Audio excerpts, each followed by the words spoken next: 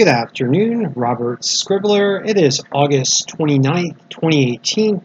Thank you for joining me for another climate change and clean energy video blog. Now for this segment, I am going to talk about a change in the model forecasts for the Atlantic hurricane season indicating an increased risk of storm development. Just as a historical context, would like to note that so far this year, the Atlantic hurricane season has has has trended about average with three tropical storm I'm sorry four tropical storms and one category one hurricane and one category two hurricane. Correction three tropical storms one category one hurricane and one Category 2 hurricane. It's worth noting that the tropical, tropical Atlantic itself, the zone that typically produces most of the storms, has been relatively quiet due to a combination of unfavorable atmospheric conditions, a, a good degree of dust coming off of Africa, and a cooler than normal sea surface temperature persistence in the region where storms tend to develop, despite warmer than normal sea surfaces pervading over large portions of the North Atlantic. It's worth noting that this is in contrast to the Pacific, which presently has about five areas of interest when it comes to tropical cyclones, including Lane, which or, the, the remnants of Lane, which recently moved through the Hawaiian Islands, and two disturbances that, that may encroach upon Hawaii over the coming days, as well as a couple of disturbances in the western Pacific. Moving over to the Atlantic, we see a area of disturbed weather presently emerging off of Africa, and this is just one region that has been indicated by the National Hurricane Center and various models for potential development. Though presently the National Hurricane Center potential development map is not yet picking up on longer range model forecasts, it's worth noting that a number of models have shown a potential for development both in the eastern Atlantic the central tropical Atlantic, and in the Gulf of Mexico in particular. It's worth noting that these models are, are starting to make some news with headlines in USA Today and a number of models showing development in the tropical Atlantic as well as a, a few models as of yesterday showing the potential for strong storm development in the east, eastern Gulf of Mexico. Dr. Rick Knabb notes that when models start suggesting tropical cyclone development many days in advance in multiple parts of the Atlantic basin, while they might not be right about exactly when or where, it does indicate that the atmosphere is changing and it's about to get busy overall for September.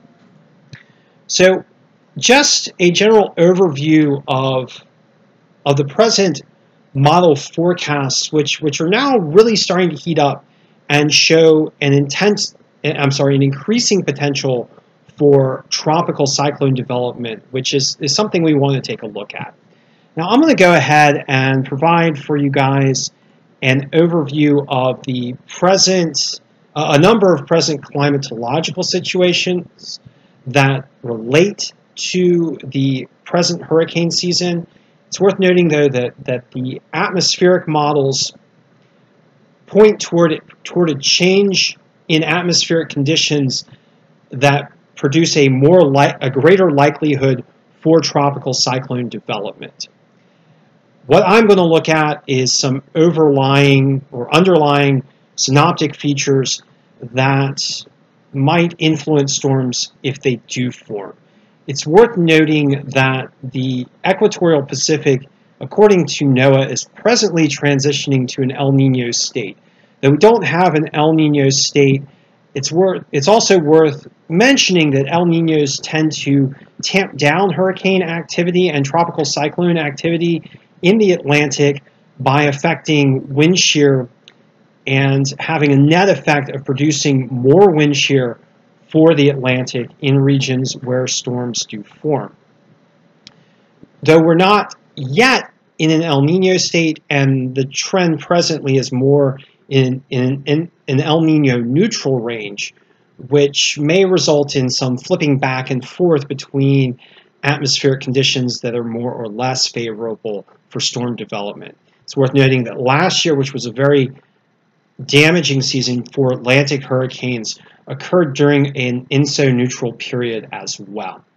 Looking at sea surface temperatures, the region where forms storms tend to form coming off of Afri Africa and running through the Atlantic in the range north of 10 degrees north latitude and south of 20 degrees north latitude is still seeing sea surface temperatures somewhat cooler than normal, although these are warmer sea surface temperatures than we have seen so far from an anomaly basis this year.